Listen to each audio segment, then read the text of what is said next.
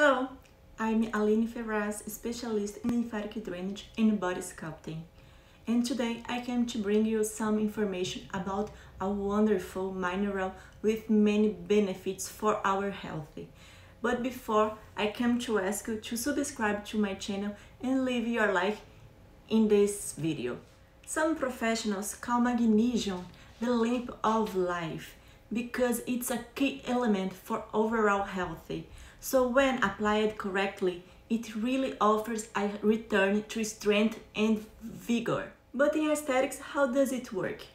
When we are deficient in this nutrient, more than 600 reactions in our body are not able to function properly, which makes the lack of this element a critical factor in the response of the treatments in the process of sagging and the localized fat, and even in the increase of the state inflammatory of the body. Aesthetics is also healthy maintenance. We must always think holistically.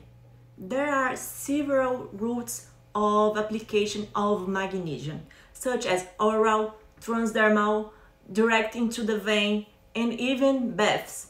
The transdermal route is 100% absorbed when done correctly, so the oral route has a disadvantage as it depends on good absorption from the body. Magnesium is used in the synthesis of protein in the transport of ATP participating in the formation of collagen, elastin, hyaluronic acid control, contributes to the functioning of some essential enzymes for the balance of calcium, potassium, and sodium. Helps in sleep, melatonin production, eliminates toxins from the intestine, acts in the production and balance of insulin, helps in the proper cellular functioning, and is super necessary for hormonal activity. You may be asking yourself, so why transdermal?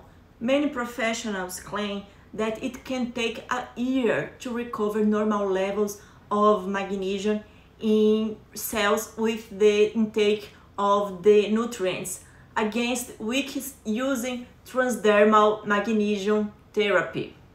So transdermal magnesium is much more absorbed by the body than when applied through other routes.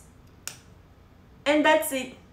Thanks for watching this video and help me I spread the word about my channel by leaving your like and subscribing to it. Thank you.